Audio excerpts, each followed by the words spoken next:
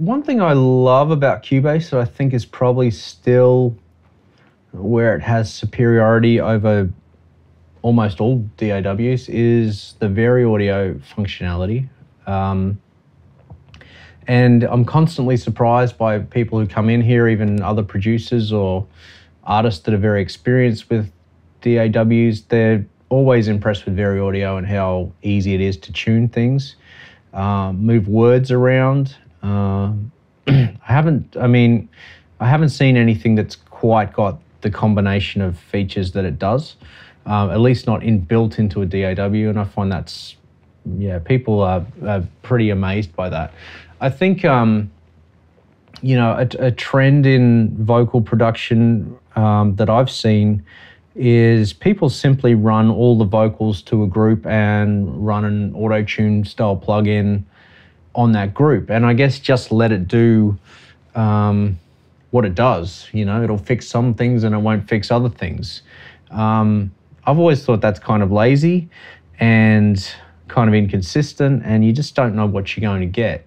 And, you know, I think you'll often hear a lot of tuning artifacts that personally I'm not comfortable with putting out. I think things, there's no, I think there's no reason, especially with uh, VariAudio and things of that nature where you can manually edit the tuning.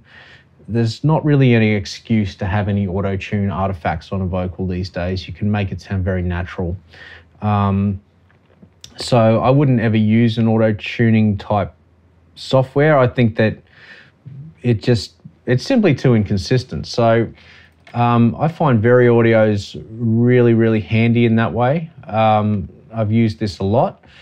Um, I guess um, one of the fir- one of one thing I often do first well is I will grab everything and I will simply quantize the pitch, which I guess I guess is a form of auto tune.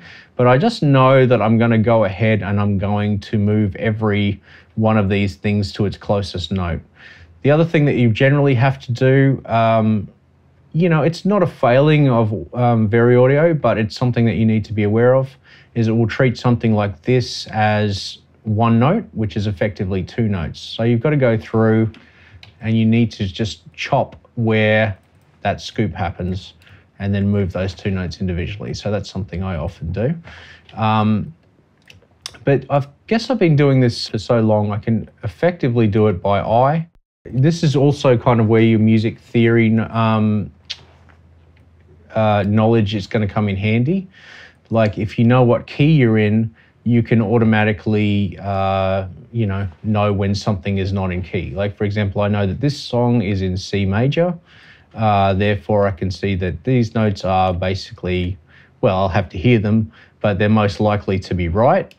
Um, whereas something like if I go over here, okay, I see this one's drifting up to an F sharp, um, which I know is not in C major, so therefore I kind of already know that that's either got to be a G or a um, or an F. So you don't care if it hurts. So I actually know that that's not the right melody. It's actually meant to be down here. You don't care if it hurts. Shoot me down with your words.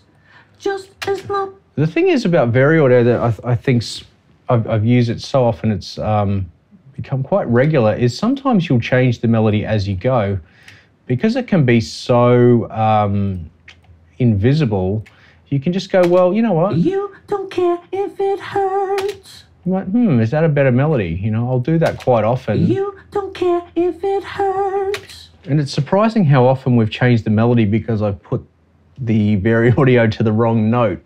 And the vocalist has gone, hey, wait, I like that. Maybe that's better. Um, and you'll go on from there. I'll show you something. heard again and again. So I find it's also great for smoothing out vibrato.